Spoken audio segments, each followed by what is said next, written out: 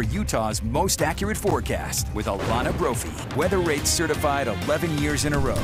Just extreme weather conditions really across the country, Alana. You're right. And you just talked about that average, Glenn. I believe 70 is what we see every year. So the fact that we're that close at this point in the season alarming. Okay, we also feel like February and look like December. Live view from Little Cottonwood Canyon, where we've got snow on the road, and the sign shows that the canyon's closed due to avalanche mitigation. That was the case today, didn't open, second day in a row, and it's not a surprise. This is heavy, wet, late season snow. An avalanche warning has been issued for the Wasatch Mountains, Bear River Range, and over towards the western Uintas. This will hold until 6 a.m. tomorrow.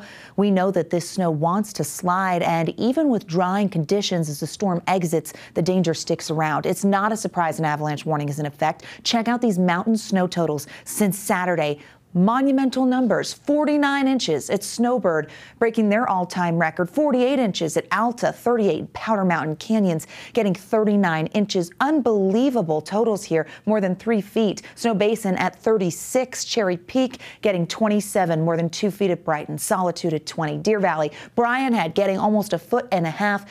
So this storm system coming in, it was cold. It's bringing this April snow and it's stacking up. So much so that we were snowblowing the deck in Woodland Hills. Thanks to Peggy for sending it this our way. 18 inches of snow in Woodland Hills.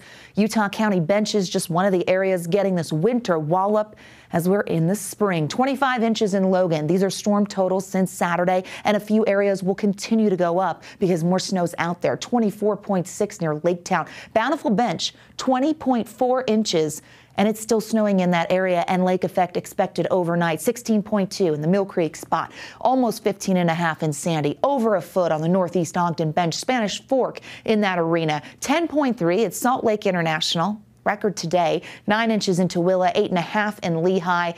And we know Salt Lake International picked up more than 10 upper avenues. 16, Salt Lake County getting hit. Look at the snowpack numbers here, incredibly healthy. And when you look at these numbers, these percents stick out. Eastern Utah at 282% of average. So's the Southwest Desert, 331% of normal in the southwest corner of the state. It's a lot of snow. And as we warm up, that's going to melt pretty quickly. 206% for the entire state. We broke the all time record today jumping above the flood year of 1983, 29.4 inches for the snow water equivalent.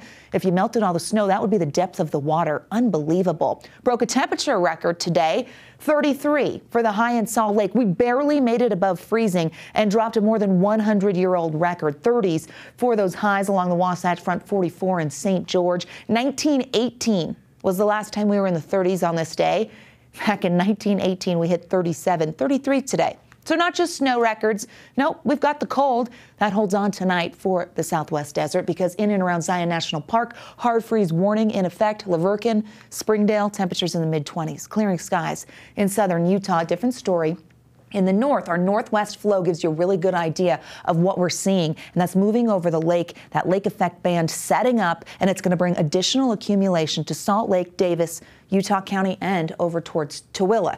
Looks like a fire hose when it comes on because we just get that consistent stream of snow, and that's going to stack up. And cold air's out there, so the impacts on the roads it's going to happen quicker. Okay, here's the Futurecast giving you an idea of what to expect by 3 a.m.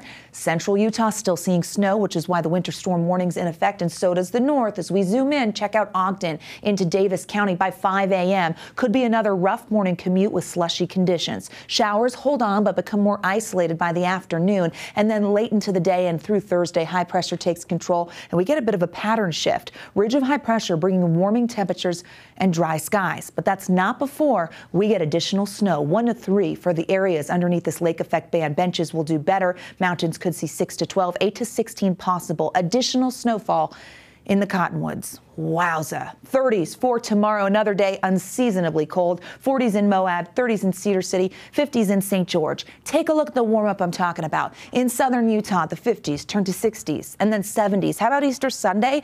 In the 80s. Yeah, this is concerning because we just looked at the snowpack there. Pine Valley Mountains have a lot of snow, and those temperatures really going to accelerate the melting. 30s to 40s to 50s. How about 60s for Easter Sunday? This time next week. We're talking about a record high today of 33. Mm-hmm. Next week on Tuesday, we're going to be 70, 70 degrees. Oh. Hmm. Wow. 70 degrees. Because I just want to make sure you're paying attention. So what's it called? Colossus, that roller coaster ride? it's like Laguna? buckle in. Yeah. We are like, woo! Well, it's just, I mean, it makes me nervous though that we're going to get that warm. That Yes, flooding concerns are real, and it's something. This is what we're talking about. We want to avoid the rapid Right, warm that's up. not looking good. We can't.